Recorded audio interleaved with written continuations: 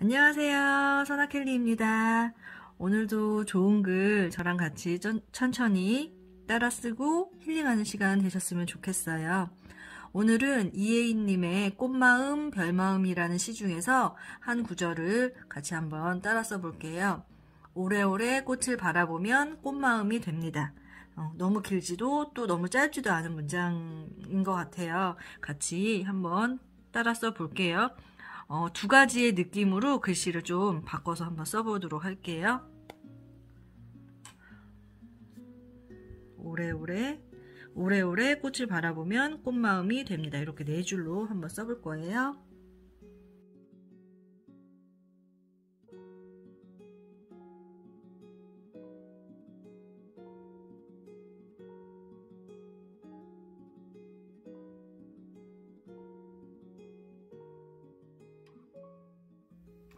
오래오래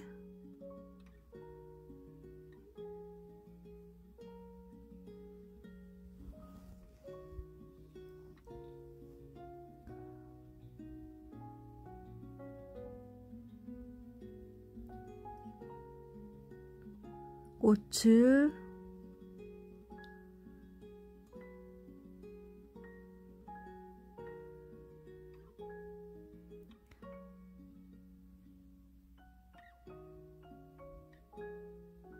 바라보면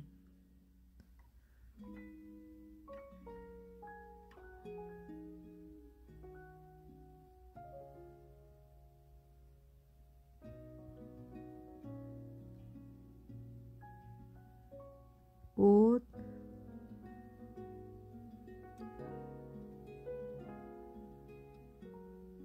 엄마 음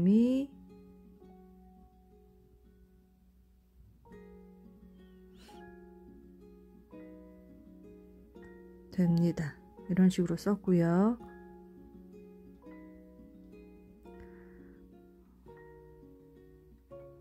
이번에는 귀여운 스타일로 동그라미를 약간 겹쳐서 리을도 음, 아까랑은 좀 다르게 한번 써볼 거예요.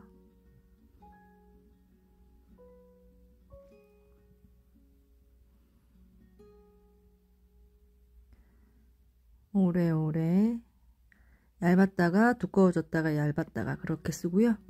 내리는 획은 그냥 일자로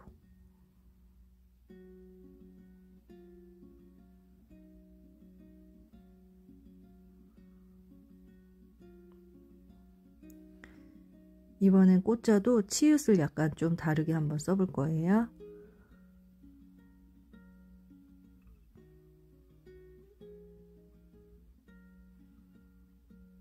획을 조금 바깥으로 먼저 첫 획을 바깥으로 하고 안쪽으로 지읒을 썼어요.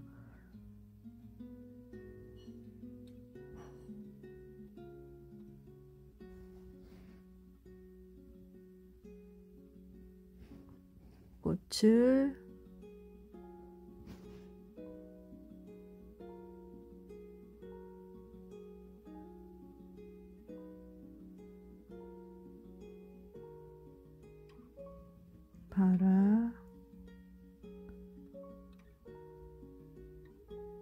보.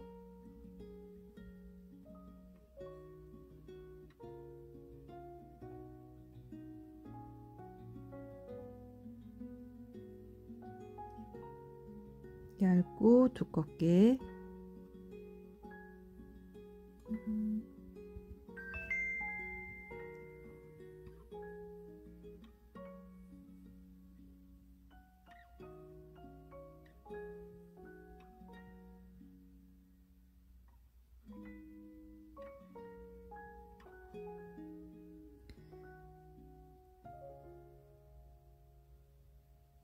꽃마음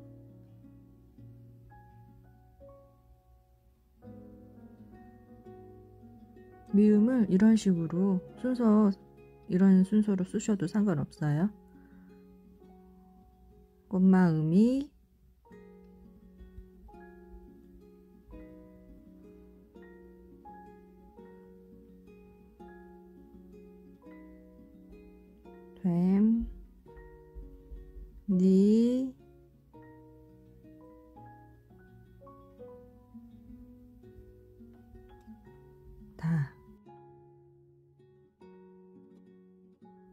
집에 크레파스 하나씩은 있으실 것 같아요. 어, 없으시면 색연필도 괜찮아요. 요 글씨 근처로 꽃을 한번 어, 이렇게 꽃을 그려볼게요. 크레파스로 핑크색 꽃을 한번 그려볼게요.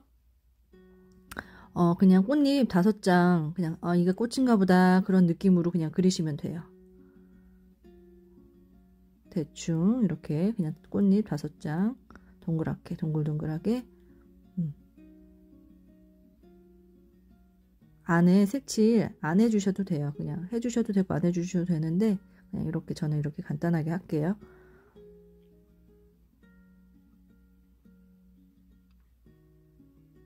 핑크색으로 여러 가지 여러 여러 개를 이렇게 그려놓고 이번에는 주황색으로도 또 한번 그릴게요.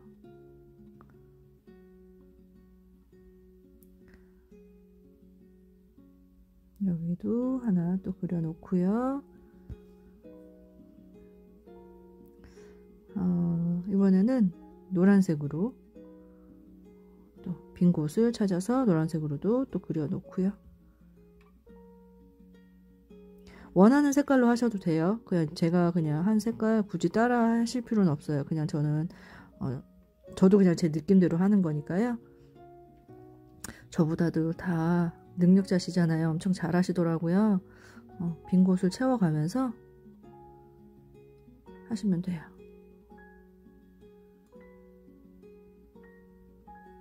이번에는 잎을 초록색으로 군데군데 비어있는 곳에다가 이렇게 음, 그릴게요. 크레파스도 이렇게 간단하게 느낌 있게 그릴 수가 있어요.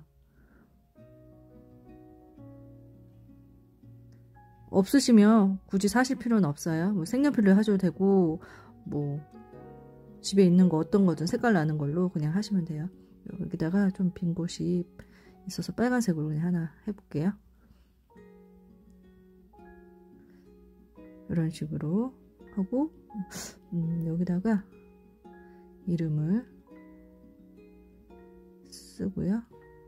제 이름도 쓰고 이렇게